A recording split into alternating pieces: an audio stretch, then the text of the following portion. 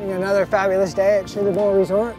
It's been uh, definitely one of the best days of this year, but for uh, a few years, it's uh, nice and light. We got probably about three feet of some denser conditions a few days ago, and then now like two feet of light stuff. So it's been pretty cindy today, having a ball. I feel like this snow's been like a long time coming. I mean, look at this stuff. It's lower. It's it made us all feel like we were just teenagers again. We were jumping off everything. We were hooting. We got lucky with the light stuff, and um, we're super appreciative of it. and We're gonna have some more fun right now in it. Thanks to Sugar Bowl, huh, guys? Yeah, they make it happen. If you can't tell, someone's itching to get out there. How is We're the going- oldest guy is the most jonesing guy? Like he's like out there gonna get it. it's so good to be with these guys.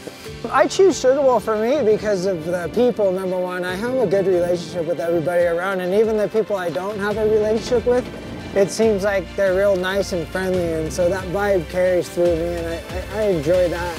For me, it's the closest mountain, so I don't have to fight any uh, you know, unnecessary traffic or anything. And It's chill, having fun, and weird. I kind of over amped just riding with these guys, so. Whoops, sorry.